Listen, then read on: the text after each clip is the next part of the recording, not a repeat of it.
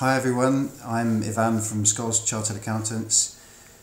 Uh, difficult time for everybody at the minute, so um, we've decided that we wanted to do something to help all the small businesses out there that are really struggling and also to do our bit for the NHS as well. So um, our team have decided to put together a, a small business coronavirus survival guide and it's available on our website now.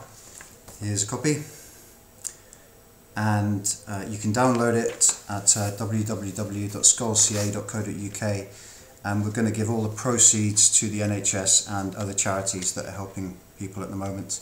It's 1.99 and uh, if you'd like to support the NHS and if you'd like to uh, read a few ideas as to how to get your business through this uh, please uh, visit scholesca.co.uk and download that.